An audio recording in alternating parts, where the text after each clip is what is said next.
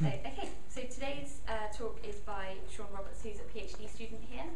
Um, he was born and grew up in Cardiff, and he went to a Welsh medium school um, and is bilingual. Um, he came to Edinburgh in 2004 to study um, artificial intelligence and linguistics, stayed on to do the really good master's course in evolution of language and cognition, and is now currently doing a PhD in evolutionary approaches to bilingualism under Simon Kirby, Kenny Smith, and Ant- Antonella Sorace um, in, in your third year. Um, yeah, you can find out a little bit more about his work, um, and he blogs on topics such as evolutionary approaches to bilingualism, code switching, and language acquisition at Replicated Typo. Did I creep you well enough there? Did I find that out? Okay. Um, tonight's talk will focus on his PhD project of how studies of bilingualism and language evolution can inform each other, mainly asking the question, is there an evolutionary explanation to how children can learn two languages simultaneously? Thank you. Thanks, Phil. Um, this is the most prestigious talk I've ever given. I'm incredibly nervous. Uh, it's really nice to be here and get a chance to, to talk to you. Most people uh, who give these kind of lectures are actual proper professors, real researchers. Um, uh, and so, like, all, all the stuff I'm doing is sort of developing very rapidly. So the description that I gave about what I was going to talk about actually changed once I tried to do a talk about it. Uh, and now I'm going to do, do uh, this talk. And so the title mainly um, is when, when you're a PhD student, you realize that three years isn't a very long time to have a lot of new ideas. But you go to conferences and you have to submit papers and you do talks and poster sessions and what you, you put all that on your CV and then what you really want is for all the titles to be very different, Mm-hmm. even though they're essentially the same subject. So there's only so many ways you can combine bilingualism and language evolution. But since no one cares what I call this talk, I'm going to call it the death of language. um, and uh, what I mean is not about uh, language death, not as in um, the uh, minority language uh, going extinct, but the idea that the concept of language uh, in studies of language evolution should die. That there's no such thing as language, which is a difficult subject to give a talk on. Um, but uh, you'll, you'll see what I mean uh, in a minute. So in this in this talk, um, I'm going to be mainly asking this question: uh, How many languages do you speak? Uh, so uh, you, how many languages do you speak? One. Okay, good. So that, that's a that's a clear answer. That was nice. You know, confident about that that number, a single digit, discrete kind of thing. But I'm going to suggest this is a, in fact a difficult question uh, to answer because languages are evolved and they're dynamic and they're context sensitive, um, and therefore we shouldn't model languages as fixed uh, monolithic things. And I'll sort of explain what I mean uh, by that in a minute. And sort of interspersed by talking about these, I'm going to do some talk about some random studies uh, that I've done. Um, so what I'm going to talk about is this concept called language. Um, you, you have people, and they, they speak, and they produce linguistic variants. Um, and, and we sort of categorize these in two ways. One of the ways is that there's some sort of something called optionality um, between uh, two variants of someone speaking, so you can say the same thing in two ways. But then there's a qualitatively different kind of difference. Um, so if, one speaker speaks very differently to another speaker, then they're speaking different languages. And the question I'm going to try and answer is uh, at what point, what amount of variation, uh, what amount of the difference in variation between two people speaking does there have to be before they're speaking different languages? Um, so we have this idea of sort of different ways of grouping uh, linguistic uh, variation. You have at the very bottom the idiolect, so this is just the, the speech of a single person, um, and then a language, something like English German, and in between you have something like a dialect of English that might be slightly different, and all the way at the top you've got language families uh, like Germanic. Um, and the question is how do, how, how do you know that something's um, a, an amount of linguistic variation dis distributed over people is a language and not a dialect um, and not a family. Um, and then you have these sort of other uh, words that also sort of cross-cut variation in different ways. Proto-language, pidgins, creoles, accents, sprachbunds, uh, just sort of different ways of categorizing linguistic linguistic variation. And this, this problem of what is a language is very similar to the problem in biology of how to define what a species is. So you have uh, an individual, like a particular dog, which is, has some genes, and then you can say, okay, this is a type of spaniel, and there are spaniels, and then there are species, a species of dog, um, and then a genus, which might include mammals or something. Um, that's not technically true, but sort of get the idea. Um, uh, the question is, how much variation in dogness uh, does there have to be to sort of make it uh, a species? Um, and the trick biologists have used is to go from the bottom up. So they've used analysis of genes. They've said, okay, we're gonna we're gonna pretend that the gene is a sort of real unit of analysis, and it's not really. There's very quite complicated how uh, genetics works. But they've made a lot of progress by making this simplifying assumption. On the other side, uh, a lot of linguistics has concentrated on language um, as a the, the comparative approach, comparing whole languages to try and understand how linguistic variation works. Um, I'm going to suggest, well, maybe that's not the right way to do things. But it's not really clear what the equivalent of genes for language uh, are. Is it words, or phonemes, or syntax, or bits of syntax? There's no real sort of um, agreement. So that's the first sort of indication that there might be a difference between analyzing languages and analyzing genes. Uh, another difference uh, uh brought out by bilingualism is this. Uh, so if you have two animals of the same species, they can mate and you get another animal of the same species. Uh, just like if you have two people that speak English, they can have a child and then that child will speak English. Good.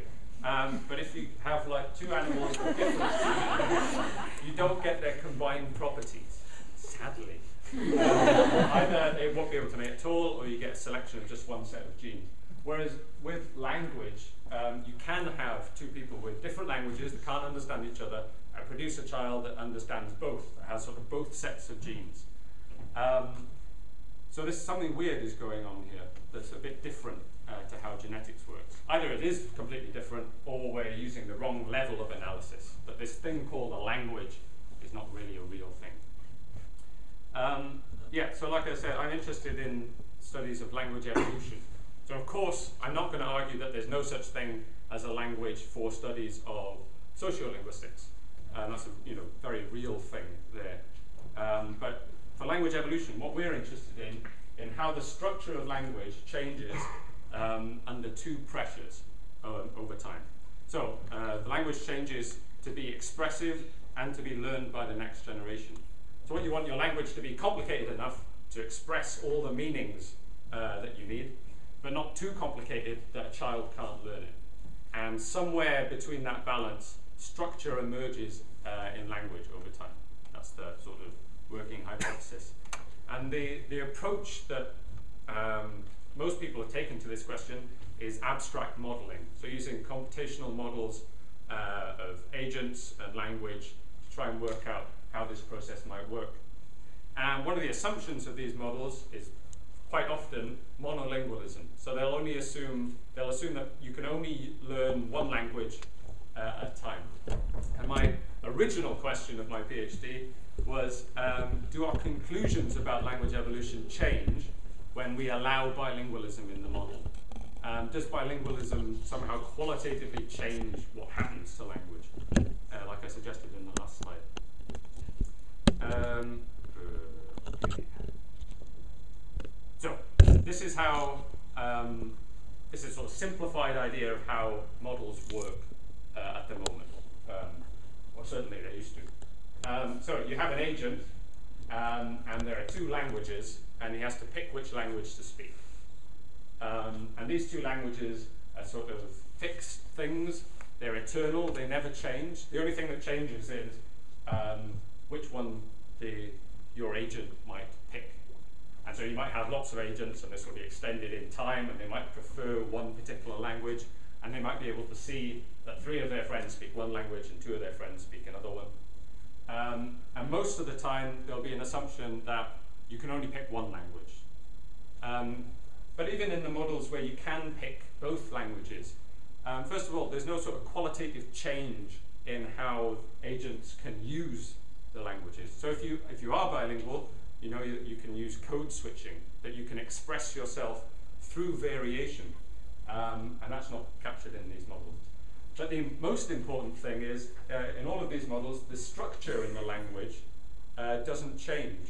Most of the time, these things will be uh, a one-bit thing, so it'll either be zero or one.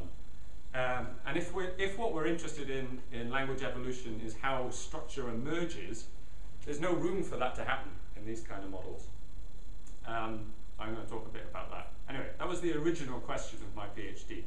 So, step one uh, was to convince people that bilingualism was an important factor um, that uh, you should want to model. Um, so, a bit of audience participation. Uh, can anyone guess roughly uh, what percentage of the USA is bilingual, speaks more than one language? 63. 70. Right, well, about, yeah, it's about 18%. Apparently, according to census data, Okay. about 18%. This strikes me as a bit low, actually. Uh, how about Canada? 40? Yeah. 34. Yeah, I've kind of sort of tricked you, and I've, I've double tricked you. Anyway. uh, all right, European Union. 70. So, yeah, we're getting better now. All right, 66%. That's, that's quite high, actually. And China? 90. Oh, damn. All right, should obviously set the slide up in a different way. There we go. Um, yeah, so for the, for the countries we have good data on, um, bilingual seem to be a significant proportion. Um, the problem is, for a lot of the countries, for a lot of undeveloped countries, we just don't have census data on uh, what languages people speak. Um, and those countries are actually the most likely to have um, bilingual populations. We don't really know what proportion of the world is bilingual, but it's probably very high. Basically got stuck on this problem. Uh, how many bilinguals are there in the world? For the, for the last two years, I haven't been able to get out of it. Um, so you can say, well, I could just count the number of bilinguals. So, yes, that's what I thought. Um, so the, the ethnologue is a, is a catalogue of languages and it lists how many people speak that language. And there's this thing called the Greenberg Diversity Index, which counts for each country how, how diverse the languages are uh, there. So this is sort of proxy for bilingualism. Unfortunately, in the ethnologue, there's no mention of how much overlap there is between people. So you can, you can see that 500 people speak this language and 1,000 people speak that language, but there's no information on how many speak both. Um, so, uh, so this diversity index, let's work with that. So it's the probability of any two people from the same language community avoiding each other, which is a bit uh, in, this is a map of the world, and uh, lighter areas are more diverse. Um, but basically, what it means is this: if everyone speaks the same language in your country, then the, the diversity index is zero. Which makes sense.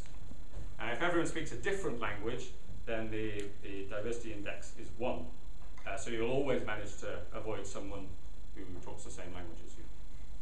Uh, if two languages spoken by half the population each, that's uh, 0.5.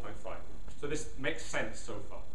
Um, the problem is that this metric assumes that people only speak one language. So if you have a language X spoken by 75% and a language Y spoken by 50%, so 25% speak both, then you get a Greenberg Diversity Index of 0.18. All right, that seems a bit low, but maybe that's all right. But if you have two languages spoken by the entire population, then you get a Greenberg Diversity Index of minus one, which is supposed, which is outside the range that's supposed to be um, calculated here. Um, so obviously something's going wrong here that we're not taking into account um, bilingualism, and partially as well the data is just not good enough to be able to estimate uh, how many people are bilingual. So I was stuck on that for a while. Why was this such a hard problem? Um, what I'm going to do is I'm going to I'm going to go through these different measures of how to define a language. So let's assume uh, that we want to know whether languages are real things, whether they're concrete things that we know exist in the world, and so we can put them in our models. I'm going to use all these measures. I'm going to show you what they are, and then I'm going to show you how they don't work um, to, uh, to define a language, that they're all a bit faulty. Um, and says down here, I have to say, they fail to demarcate a stable notion of what a language is. Uh, so just keep, keep. Uh, all right. can't we just ask people? So I just asked you how many languages. You said one. Good. Uh, surely that's a sort of uh, that's evidence that languages are real things, as people think they are. Um, what I'm going to do now is a, a live experiment to try and demonstrate that that's not the case. Um, you're, you're going to see an English, well, uh, a, a, word that's going to appear up here, uh, and I want you to say, I want you to answer whether it's it, whether it is an English word. So if you, if you think it's an English word, shout yes. If it's not an English word, you shout no. Okay? Now, obviously, I'm going to try and trick you, but like if you just like react with your first um, impression, then it'll just be more fun. Uh, right, ready? One, two, three. Yes. Yeah, okay, good. Fine English word. Uh, one, two, three. No. Right, good. Lots of agreement. This is definitely not an English word. This is a Welsh word, helpfully marked out by orthography having far too many vowels, uh, consonants. right. Uh, okay, one, two, three. Yes. Okay, yes, another good English word. One, two, three. Yes. Okay, we're all still, we're all still agreeing. Enjoy that. Yes. All right, okay, we're getting a bit more shaky. One, two, three. Yes. Okay, one, two, three. No. Okay, angry now. One, two, three. No. One, two, three. No. All right. Uh, so the, the main point I hope to demonstrate there is that people just don't agree on what what word, what language a word belongs to, and that should be at least partly evidence that you don't know what you're talking about. um, in fact, so one of my one of my friends who, who grew speaking uh, French and English fluently, um, we were talking about deja vu one day, and, and he said, "Oh, that's an odd word. It makes sense in French." Um, and he, had, he hadn't realized that it is a French word that was brought into English. In his mind, deja vu is an English word, completely separate from French.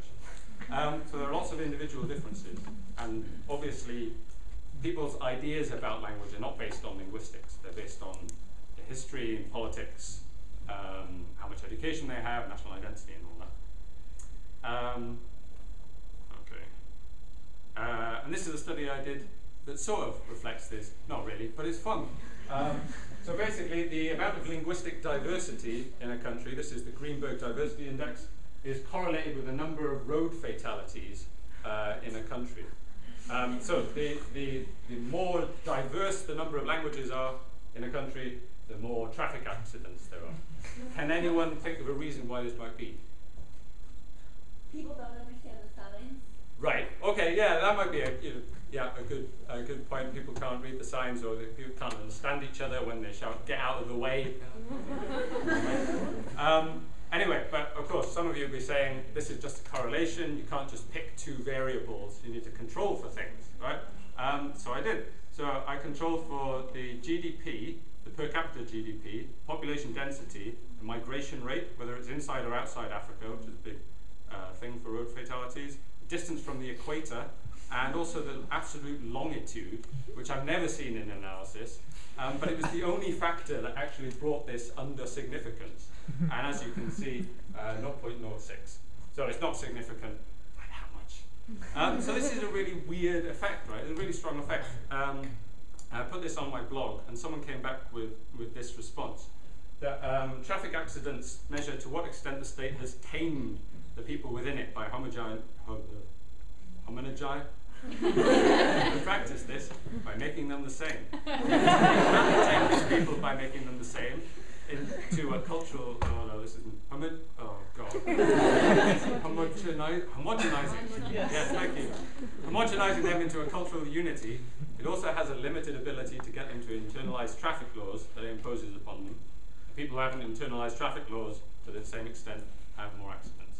Well, this is a sort of interesting explanation that the, the linguistic diversity and uh, the state unity are sort of intertwined. So the idea of what a language is and the, your, your national identity obviously go hand in hand, um, but mainly traffic accidents and linguistic diversity is fun. Um, all right, so asking people doesn't work. Can't we just ask clever people, like actual linguists who know what they're talking about? Um, well, here's a study from Thomas and Allport. Uh, they did a language switching task um, where they tried to measure the amount of cognitive uh, effort required for bilinguals to switch from one language to another. And in their stimuli, they said no words were used that existed in both languages. Um, in fact, I found that 22% of the French words uh, appeared in the Brown corpus, which is a, a corpus of English, apparently. So bureau was one of their words, which is actually a fairly common English word. So the question is, what was their, um, what were they using to differentiate languages? Were they using a dictionary approach, and would that give you a different answer if, than if you used a corpus approach? Um, so it seems to me that the researchers were sort of assuming that there was a difference between languages, and then trying to find a way of measuring it. Um, and this is a sort of a bad scientific method. Really, what you want to do is, is measure things until you find a difference, and then assume from that that they are different, sort of getting things back to front. Um, in any event, uh, subjective measures seem to be a pretty bad way of uh, of defining languages, getting this stable notion uh, of a language. All right, but we might be able to uh, define languages through use. This is a, an example from Gafaranga, um, who works in Edinburgh University and does a, a course on bilingualism, which I highly, highly recommend. Uh, he studied people who speak Kinyarwanda, which is a language from Rwanda, French and English, um, and they're, the, the speakers in Belgium, and these two speakers are speaking about um, admissions policy. Um, so this is an English translation, and uh, they're color coded for language. I'm just going to read it out. It says refugees like him uh, are schools are privé. They are privé, so you must study to pay pay to study at this university. Hmm. Mekong, he doesn't have money. He has to apply for a burst from they call it local government, local authority. Well, it's like like a municipality. That's right. It's a municipality. You got the burst from the municipality. So, um, uh, Gafaranga's point here is that uh, A and B are quite happy switching in, a, in and out of Kinyarwanda and French um, until A forgets the word municipality and has to, to stop to, to ask B for it. And luckily, since they're bilingual, he can switch into English to ask him for the word. Um, so he helps him out, and then the, the conversation carries on. But this, he, Gafaranga says that this, uh, the evidence of a repair strategy in the middle suggests that moving, switching from Kinyarwanda and French to English is a marked thing. So he says there are two mediums here. One is Kinyarwanda and French, and one is English. And the traditional boundaries that we have for languages uh, aren't really respected. And in fact, so this is the cover of his book, uh, where two people are saying, um, this is from one of his uh, recordings, uh, the notion de langue, the, the concept of language, uh, and then the, the woman is saying it disappears, but she's saying it in another language, and that's sort of demonstration. Um, so the point here is, okay, that might be evidence for two different amounts of variation to, lang- to languages or to mediums, um, but it's dynamic and it's context dependent. So in other parts of the world, Kinyarwanda and French might be considered completely different mediums. Um, and we can't really say for, for sure that French uh, will, will remain a, a, single language on its own wherever it goes. It might be subsumed into another. Um, so, can we define languages through use? Well, maybe, but we have to realize that they're dynamic and context sensitive. Uh, one of the most obvious ways of um, defining language is mutual intelligibility. So if I can't understand what you're saying, then you must be speaking another language.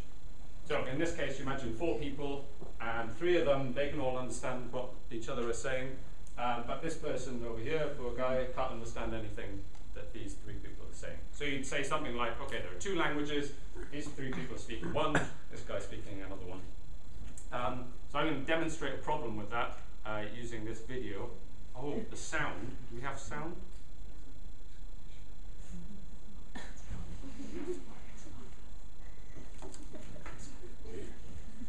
Sorry, I should have thought about this.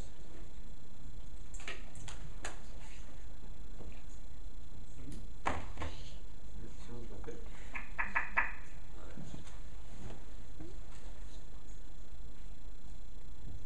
Video. Nej, det där, det där, jag är inte jag, jag kan inte ljud, vad var det, mambo?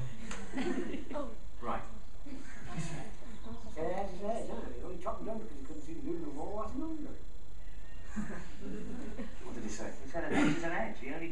it's Forty's view. What's Rick rebelling about? Your position, Mr. Webley, but you can't go around chopping down other people's hedges without permission. Ah, no. I suppose. Yes, I suppose. Aye. All right. All right. So the point there is um, who, who understands who. So in this sort of chain, um, each each person understands his neighbour, uh, but this guy at the end doesn't understand this guy. So what? How many languages are, be, is, are being spoken here? Is it just one dialect of English? If so, why can't this under, guy understand the other guy? If it's four idiolects, then we may as well just say that there are six billion languages in the world. Uh, if it's a standard version of English and a non-standard version, where do we draw the line um, between the two? Because it's, it's sort of totally graded. And even more confusingly, uh, the old guy seems to understand this guy, but this guy can't understand him back. So it's not even directional. Uh, so mutual intelligibility seems like a, a bit of a, well, it doesn't seem to work to demarcate stable notion of language. Um, and actually, you get this problem in biology as well. So there are species, um, species who are able to mate with each other. They're usually considered the same um, species, or organisms that are able to mate. Um, but you sometimes get a chain of organisms, each that can mate with its neighbor, but the opposite ends can't mate. So you get this problem as well. And it's not really just a hypothetical problem either. Uh, so there, there are different theories of the Jap- Japonic languages, languages from Japan. Uh, some theories say there's just one language with different dialects, and you get other theories that say actually there are 20 languages, uh, which are all separate. And so this is a real debate that uh, real linguists have, not just pretend ones. so mutual intelligibility uh, doesn't work. Um, well, how about typology? Um, so, uh, as linguists, we have different ways of classifying languages, um, and we might be able to use those classifications to say, okay, if two amounts of variation sh- share the same features, then they're, they're closer together. Um, the first problem with this is that it means that Welsh and Zapotec and ancient uh, South American languages are very similar typologically, at least in syntax, so you wouldn't, but you don't really want to say that they're the same language. Um, the other difficulty is that linguistic typologies might be um, biased by our understanding of what a language is. So most, uh, well, most linguistic research has been done on European languages. Um, so we might expect that um, the typologies that we've come up with for those European languages fit European languages well, but they might not fit other languages well. Um, so I decided to test this. And in fact, the morphological complexity of a language is correlated with its physical distance from Europe. Uh, um, now, so this is a, a, point that Dan Dediu brought up. Um, basically, there's, I mean, there's nothing linguistic in this. It's just the further away from Europe you get, the weirder the language looks because the way we have uh, analyzing it is for European languages. Um, and in fact, you can you can do this correlation for many different points on the on the Earth. And well, you can't really see that very well. Uh, and come up with this map. Uh, basically, you get uh, red areas here a very high, highly significant correlations. Um, so you get, well, you can't see very well at all. So you get an area around Europe uh, where distance is related to morphological complexity. Um, that seems to support the hypothesis. However, you also get really highly significant areas uh, down in the Pacific and the sort of uh, out in the middle of nowhere. I, mean, I can't really think of why a reason for that would be. I think this is partly to do with the fact uh, of how the languages are spaced out uh, in the world. Um, so if you pick a point down here, you're increasing the amount of variance in your sample data, essentially. Um, which is, so this, this is, this, I'm interested in this kind of large scale statistical analysis uh, of language. And this has been used recently uh, to su support many things, but there may be some problems with it. Anyway, typology out. Can't, uh, can't define languages well enough for us. Um, so we might not be justified in putting it into a model of language evolution. Well, what if we look a bit more, something that looks a bit more like language evolution? So if we look at descent. So um, you're all taught that languages are descended from uh, ancestor languages, and you have this idea of uh, tree structure. So you have Proto-Indo-European, and then English came from Middle English, from Old English, from Anglo-Frisian, from West Germanic, Germanic. So we'd want to say something like, okay, uh, English and Dutch are different languages because they have different uh, ways of different descents. Uh, they have different evolutionary histories, or at least just histories. Um, one question here is whether this is tracing the descent of languages or the descent of people. Um, so obviously the two are very combined. Um, in fact, here's a study from John Novembre that uh, shows that you can actually tell uh, what language a person is speaking or what language a person speaks just by their genetic data. So this is a map of genetic data, and all these points are people from Switzerland, uh, and you can see that the people who speak Italian are genetically different from the people that speak German uh, and French. Um, so this is sort of a reasonable, or less quite an interesting uh, uh, evidence that language and genes are sort of tied, both descents uh, are the same. But it doesn't have to be like this. Um, and in fact, so I did a study of individual English words, so the, the descent of individual words coming into English. Um, and I did this by going to the Etymology Online Dictionary, the Dictionary of Etymology, and you have entries like this. So the word pace in English came from the Old French, uh, which originally came from Latin uh, and then from Indo-European before that. Um, so using this, you can sort of draw a, a little graph that this word came from Proto-Indo-European to Latin to Old French to modern English. Uh, and then what you can do is take another one, uh, so this word acacia, um, that came from the Greek, sorry, from the Latin to the Greek, um, and then into modern English. Says? Yeah. All right, so you get this sort of tree. Um, so now you, you can build up a network of all the different descents of the, the words in English. Uh, and already it's not looking terribly tree-like.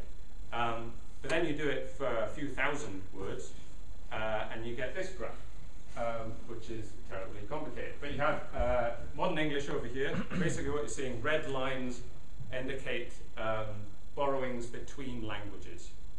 Um, and if this was a tree-like thing, what you should be seeing is a tree structure um, with all the things coming into English.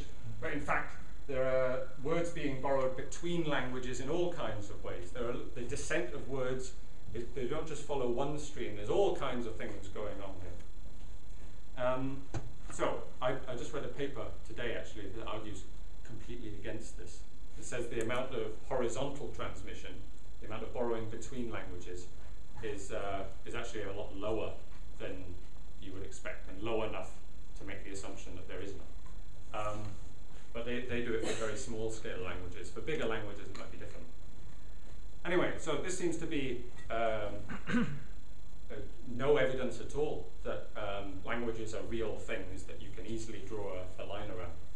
But maybe we can use this graph to, to somehow get a higher level category of something. So um, you can use something called network modularity, uh, which is a computer algorithm that you steal off the internet, which splits the graph to maximize the number of links uh, within a cluster. Uh, and then you get this graph, which is the same graph, uh, but now it's uh, colored uh, into three clusters. So this, this has, the program has determined that these are the three significant clusters uh, in this graph. And it's done a really nice job of separating things into Germanic languages in red and Romance languages in green. And then you have a sort of another category for other languages. So this has done a fairly good job. Just out of uh, raw low-level data, you can get a high-level categorization that agrees with the kinds of things linguists talk about. Uh, the problem is, I told uh, this graph to come up with three categories. So I could have just as easily told it to come up with six categories and it would have done it and it would have looked a bit different. Um, so what's the most you know, appropriate level? And the other thing is, if we have this much data about words, why not just use words in our model? Why bother with higher level categories if we can use things that we know are real? Um, all right, so defining languages through descent, tricky. Um, but maybe we're thinking sort of too high level about this. Uh, maybe it's time to get our hands dirty and, and do some real science. Um, if you're a bit squeamish, then you should probably look away now, because I'm going to show you a picture of a brain. this is someone's brain. You can't really see that very well. On my on my screen is like completely vivid and awful. Anyway, um, so this is this is a person, uh, patient who's undergone brain surgery, and before they did, uh, they mapped out the the patient's brain uh, to find languages uh, areas that controlled languages, and they did this by cutting the, the top of their head open while they were still awake, um, and getting them to read. Um, uh, a list of words in a particular language, then they took a, uh, an electric uh, electrode and they poked the brain in, in different bits. Um, and if, if an electric current caused them to stop speaking, then they, li- they literally got a piece of sticky tape, like put a big uh, L on it. So what you're seeing here is uh, parts of the brain uh, labeled N, so they're normal. Parts of the brain labeled L, they cause trouble uh, for, for language. Um, and this is the same patient, but if you test them in French, there's this area that's marked out uh, by the dotted line that causes trouble, um, and this area that doesn't cause trouble in French. But if you do that in Spanish, the areas are flipped. So there's this area that, um, that affects Spanish, but not French. Uh, and again, over there's an area that uh, affects French, but not Spanish. So we, here we have a double dissociation between brain areas for different languages. So surely this is good evidence um, that, that there is a real concrete thing called languages, called a language, um, rather. Um, unfortunately, if you look closer at this kind of literature, what strikes you is the individual differences. So th- this, these are the same thing for many patients, and you can't really see this uh, very clearly. But basically, the, um, the different regions that different people have that affect only one language um, are very different for different people. And you even have this person here who speaks four languages, and one area of the brain is, uh, controls English, and the, the, other area controls all the other three languages. Um, so first of all, you don't really understand how brains work. Um, and just poking something with an electrode, God knows what that's doing. Um, so there are a lot of individual differences. And also, if we're trying to figure out how many languages someone speaks, we can't just open up everybody's brain, because it just, just takes too long. Um, there are other concerns.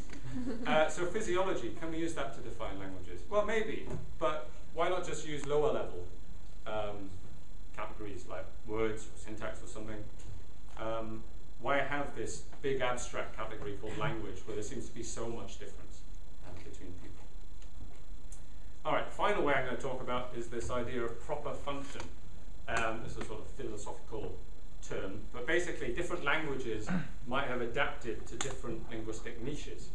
So just like a biological species, you might say there are two different species because one is adapted for uh, a water environment, and one is adapted to live in the trees. Um, you might be able to do that for language as well. A bit of a controversial claim, but still. Uh, here are two languages and two flags of the countries uh, that the language is in. So in Belize, you have this flag, and it has, uh, it has, it has 12 colours on the flag. Uh, and in this language, there are uh, about 10, 10 words for language. Uh, there are 10 words for colour. So there are 10 basic colour words in this language, and the flag has 12 uh, colours on it. And this flag only has two colours on it, uh, and the language uh, only has three basic colour terms. So is there a correlation between this? Well, there are loads of, loads of data on the internet. I love doing these kind of studies. and in fact, yes, the number of colours in a language predicts the number of colours on the flag. Um, so there's something here, the language is adapt either the language is adapting to be able to communicate um, the, the colours that you want to talk about. If you want to agree what colour should go on the flag, you need words for it. Um, or it could be the other way around. Anyway, um, so this is a sort of argument that maybe you can tell languages apart by their function. Um, but it's a pretty bad argument. I just put it in because again, it's funny. Like, Um, a much more, a much better study is this study by Lupyan and Dale, uh, which was done last year, where the, they found a relationship between the morphological complexity of the language uh, and the, the population of that language. So you get languages like English, which have very big populations and it's spoken all over the world, has a lot of contact and a lot of second language speakers. Uh, it's relatively simple in terms of morphology. And then you get languages like Welsh, which are spoken by a small number of people in a small region, um, although rapidly expanding. Um, and they have a, a very complicated morphology. Um, so Lupyan and Dale's theory is that bigger languages are more likely to have more second language speakers. Um, so adult, adult learners of this language. And adults find morphology difficult to learn, or at least more difficult than children, by some counts. Um, so the idea is that English has adapted um, to fit the cognitive niche of its learners. So its learners aren't able to learn morphology, therefore they're not going to pass that on, uh, and the level of uh, the, the, complexity of the morphology is going to decrease. So just like um, biological adaptation, languages are adapting uh, to the population as well. I think this is a really interesting idea, and so I did some work on it to try and find what the mechanism might be. And now we go back to silly studies. Um, so there's this distinction between procedural and declarative memory that might underlie this difference between child and adult speakers, according to uh, Ullman. Um, so procedural memory helps you do procedural things like uh, running, walking, things like that. And declarative memory, um, procedural memory also does morphology apparently. Uh, and then declarative memory is sort of looking up uh, words. It's like lexical reference. Um, so procedural stuff for morpho morphological languages and declarative stuff for simpler languages. Um, so if that's the case, could you see differences in languages based on other differences uh, in procedural and declarative memory? So females are better at declarative tasks. Um, and in fact, if you look at the male-female ratio uh, of a country and its morphological complexity, you get a uh, significant correlation. Um, unfortunately, the opposite way around to what you would really like. It, the hope was that uh, having more females in the population would uh, would give you a simpler language. Anyway, that didn't work. Um, so I looked at siestas. So daytime naps improve procedural memory. So maybe in countries where people take daytime naps, you'd be able to see a difference in the language. Um, and in fact, you can. This is significant. Uh, the, the, countries where you take siestas have a lower morphological complexity than countries where you don't. Um, unfortunately, this is the wrong way around again uh, from what the theory would predict, which is unfortunate but sort of interesting. And the third one I did was on alcohol consumption. So the amount of alcohol you, the alcohol affects procedural memory, but not declarative memory. And in fact, the amount of alcohol uh, that you drink affects whether you have an inflectional future. So if, if you have a past tense, sorry, future tense, uh, in some languages it's inflected morphologically, and in some languages it's um, lexically defined, like in English, so you have I will go, that kind of thing. Uh, and there's a significant correlation. And this is the right way around. So, uh, alcohol predicts uh, morphological complexity. Um, I wouldn't trust this. Um, but it's sort of interesting way that you might be able to tell the difference between languages based on these um, social factors. Uh, however, so me and my colleague James Winters uh, have been working on a paper that argues that it's really fun nowadays to do these sort of uh, large-scale statistical analysis. And I really enjoy doing them because there's loads of data out there. It's really easy to get. You can just pull them in, do a correlation, sort of interesting immediately. Um, the problem is that you can't just, so Lupyan and Dale's study is really interesting. They asks a question, why, why is there a difference between uh, languages? Um, but you can't just keep doing statistical analyses of the same data um, to prove that point. At some point you have to do an experiment, and they take ages, and they're really complicated, and they never work. Um, so I don't do them. Um, but at least the linguistic niche, so this is their idea that languages adapt to different linguistic niches, even that is sort of made up from many different concepts. It's not just a single thing, so it depends on the population size, uh, maybe the sex ratio, how much alcohol they drink, how much contact they have with other languages, uh, and things like this. So even though you might be able to use um, um, this method to tell the difference between languages, um, lower level mechanisms will do it just as well for you. So why not just use the lower level mechanisms? Uh, so proper function, it might still work, but we still have to admit that languages are dynamic things. They're not fixed. They can change over time, just like English does. Okay, so here's my conclusion. There's no such thing as a language. Um, that is, there's no easy way to group linguistic variation into a high level category. Although we're sort of taught this, that um, we do an anal- analysis of English versus German, and that's been very productive for linguistics. Um, for evolutionary linguistics, uh, I am arguing that the analysis has to be uh, low level, uh, has to be, be dynamic, the languages have to be able to change their structure, has to be speaker orientated. You have to take into account that these languages are actually being spoken by individual people and that one person can speak two languages. Um, has to be context dependent um, and it has to be an emergent property. So languages in a good model of uh, language evolution should emerge rather than being fixed in by the, uh, by the person who's built the model. And this sort of really splits um, the field into two approaches. The first approach, which I uh, characterized at the start, was that you encode discrete languages um, and language specific biases in your model and then see how they compete for speakers. So you had the two languages and the, the agent had to decide which one to speak. Um, but the opposite approach is to take a bottom up or sort of psychological approach where you look at, uh, in your model, you encode low level variation, so say words or phonemes, and general uh, learning biases, not language specific ones. Um, and then you ask how do higher level categories, something like a language, uh, how do they emerge through use and transmission? So now we're studying um, not just the, how the proportions of linguistic variants change over time, but also how their structure changes over time. Uh, I think that's the, the way forward. And this is the work I'm trying to uh, work on now uh, in between doing random correlations. things. Uh, thanks very much.